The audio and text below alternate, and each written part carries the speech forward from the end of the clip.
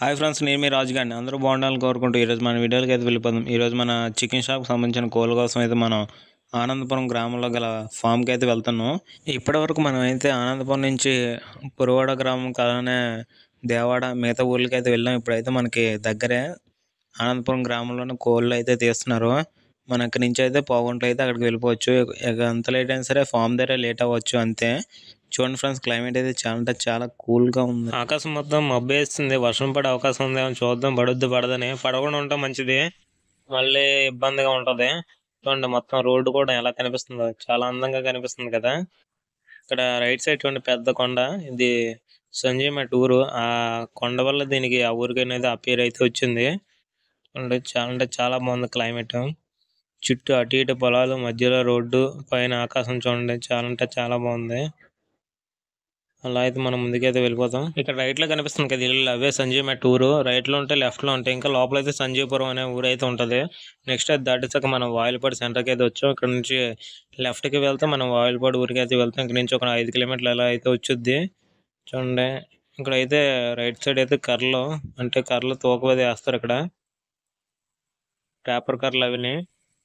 అక్కడ నుంచి మళ్ళీ టర్న్ ఏది లెక్క కాటేసి అలా అక్కడి నుంచి అయితే తీసుకెళ్తుంటారు. ఇక్కడ చూడండి మొత్తం రోడ్డు పక్కన బిల్డింగ్లు అయిపోతున్నాయి. అలా మనం నల్లబెల్లి ఊరి దగ్గరికి అయితే వచ్చేసాం. నల్లబెల్లి రోడ్డు. ఇలా అయితే లెఫ్ట్ సైడ్ మనం తిన్నగా వెళ్ళిపోతే నల్లబెల్లి ఊర్లోకి అయితే వెళ్తాం. ఇది కూడా ఒక నాలుగు కిలోమీటర్ లేదా ఐదు కిలోమీటర్ అయితే వచ్చుద్ది లోపలికి. అలా అయితే మనం ముందుగా స్లోగా అలా అయితే వెళ్ళిపోతాం. కానీ అంటే నల్లబెల్లి అంటే ఇంకొక రెండో మూడో ఊర్లు తగిలితే అంతే మనం అయితే వెళ్ళిపోవచ్చు ఆనందపురం ఇటుకలు బట్టి ఇటుకలు అయితే కాలుస్తున్నారు ఇక్కడ ఒక ఫామ్ ఉంది చూడండి.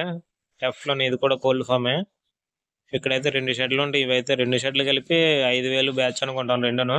ఐదు వేలు లేదా ఆరు వేలు అయితే ఉంటుంది. ఇక్కడ రైట్ సైడ్ మొత్తం చెరువు. చెరువులో అయితే పెద్దగా నీరు లేదు. ఇప్పుడు ఎండాకాలం కదా. పెద్దగా నీరు అయితే లేదు. అలా మనం అయితే ఆనందపురం అయితే వచ్చేసాం. అనంతపురం పొలిమేర దగ్గర అయితే ఉన్నాం ఇప్పుడు.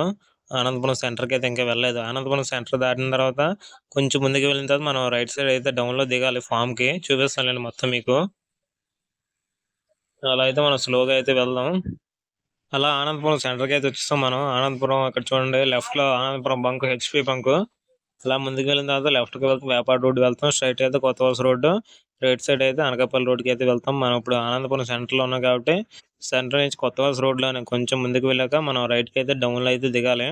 చూడండి అస్సలు ఖాళీ అయితే టైం అయితే ఇప్పుడు ఫోర్ థర్టీ ఫైవ్ దగ్గర అయితే అవుతుంది. అందులో అయితే జనాలు ఫుల్గా అయితే ఉన్నారు. ఈవినింగ్ టైం కదా. అసలు ఒకసారి మీకు నైట్ టైం చూపిస్తాను కదా. ఆ నైట్ టైంలో అయితే పెద్దగా అంత ఎక్కువ జనాలు అయితే ఉండరు. ఇప్పుడైతే జనాలు ఎక్కువే ఉన్నారు ఈవినింగ్ టైం కదా. అందువల్ల కొంచెం జనాలు అయితే ఎక్కువే ఉన్నారు. మీకు చెప్పాను కదా నాలుగు ఊర్లకి సెంటర్ అనేది. అందుకే వేరే వేరే ఊర్లు వెళ్ళిన వాళ్ళు కూడా ఇక్కడైతే బస్సు దిగి ఇక్కడ నుంచి మళ్ళీ ఆటోకి కానీ బైక్ కానీ వాళ్ళ ఊర్లో అయితే వెళ్తుంటారు. అందుకే ఇక్కడ ఖాళీ ఉండదు. సెంటర్ కాబట్టి ఇక్కడైతే అసలు ఖాళీ ఉండదు. మనం అలా కొద్ది ముందుకెళ్ళిన తర్వాత కొంచెం ముందుకైతే వెళ్ళాలి. ఫ్రెండ్స్ ఇక్కడ చూడండి మనకి ఎల్లో కలర్లో ఒక వ్యాన్ లాంటిది ఏదో కనిపిస్తుంది కదా. అక్కడైతే మనకి రైట్ సైడ్ అయితే కిందకైతే దిగాలి. అలా దిగిన తర్వాత ఫామ్ దగ్గరికి అయితే మనం వచ్చేసాం. చూడండి ఫ్రెండ్స్ ఇదైతే సింగిల్ షెడ్ అంటే ఒక షెడ్ ఇది. పక్కన చిన్న కమల పాక కనిపిస్తుంది కదా అది. ఈ రెండు షెడ్లు మాత్రం అంటే మొత్తం రెండేళ్ళు కలిపి రెండు వేల ఐదు వందల కోళ్ళు ఇంత ముందు అయితే ఈ షెడ్ ఖాళీగానే ఉండేది. రీసెంట్ గానే వేరే వాళ్ళు లీజుకి తీసుకొని వాళ్ళే అంటే లేబర్ వాళ్ళని పెట్టకుండా వాళ్ళే సొంతంగా అయితే చేసుకుంటున్నారు చాలా బాగా వచ్చాయి ముప్పై ఆరు రోజులకి. దగ్గర వన్ పాయింట్ నైన్ దగ్గర అయితే వచ్చాయి. నాకు తెలిసి డబ్బులు బాగానే వస్తాయి వీళ్ళకి. చుట్టూ చూడండి. మొత్తం తుప్పలు తుప్పలు ఉండేవి. మొత్తం సైట్లు వేస్తారంట అమ్మకానికి. అందుకే నీట్గా గా చేశారు చూడండి కోళ్ళు మన షెడ్ దగ్గరికి అయితే వచ్చాం. ఈ సైడ్ చూడండి వెహికల్ కోసం అయితే అది అంటే కాలు సొట్టి అవి ఉంటాయి. వాటి కోసం అయితే వేరే సపరేట్గా అయితే చిన్న బ్రూడింగ్ కట్టి అందులో అయితే వాటిని పెట్టేశారు. చూడండి మొత్తం రేకుల షెడ్ రేకుల షెడ్తో రేకుల షెడ్కే మొత్తం కమ్మలు అయితే వేస్తారు. చల్లగా ఉంటుంది ఎండాకాలం. రేకులు అయితే వేడి దిగేస్తుంది. ఈ కమ్మల పైన వేయడం వల్ల నాకు తెలిసి బాగా కోళ్ళు అయితే బాగా పెరిగాయి.